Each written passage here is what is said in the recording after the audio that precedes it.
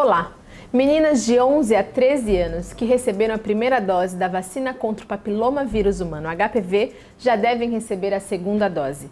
A imunização que começou na última segunda-feira acontece nas escolas públicas, particulares e em unidades de saúde. Já o campus Baixada Santista da Unifesp está com inscrições abertas para voluntários que queiram participar do programa de exercícios físicos para controle da pressão arterial e da glicemia. As inscrições acontecem nos dias 11 e 12 de setembro no emissário submarino. E a Prefeitura do Guarujá está com um programa importante de capacitação para os profissionais que atuam na rede municipal de saúde sobre o teste rápido de HIV e sífilis. O curso já começou nesta quinta-feira e prossegue nos dias 9 e 11 de setembro. E confira também neste final de semana uma reportagem de Thales Galvão que fala sobre o método de Rose, uma cultura baseada em técnicas para deixar nossa vida melhor. Leia esta e outras notícias em bocnews.com/vida. Acesse nosso canal no YouTube, faça sua inscrição e uma ótima leitura. Até quinta-feira.